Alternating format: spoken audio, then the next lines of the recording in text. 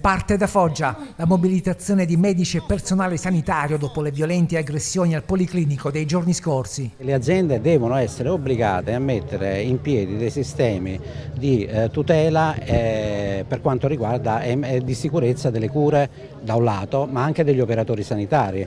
Il pronto soccorso in particolare è quello più bersagliato perché è la prima porta dell'ospedale, cioè la gente quando ha bisogno la prima porta che trova aperta è quella del pronto soccorso, non certo quella del reparto.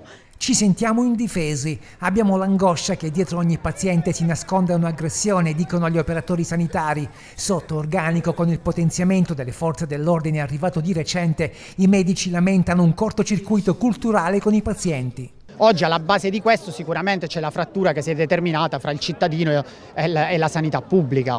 Quello che occorre oggi è ricostruire un patto e un'alleanza tra gli operatori sanitari e la popolazione. Il personale medico fa fronte alle difficoltà che il sistema crea e fare fronte ad una difficoltà di per sé crea una difficoltà ulteriore nella comunicazione perché noi siamo pochi e abbiamo tanto da fare. Noi dobbiamo comprendere che dietro ogni diritto c'è un dovere e questi sono gli stessi medici che sono quelli che ci salvano la vita. Dalla Puglia sale la richiesta di interventi strutturali organici per la sanità. Qui dobbiamo ovviamente capire cos'altro ci serve per far funzionare tutta quella programmazione che abbiamo messo in campo sul territorio col PNRR per garantire questo passaggio, chiamiamolo così, generazionale, nel senso che, che ci consente di ripristinare questo patto sociale tra cittadino e medico.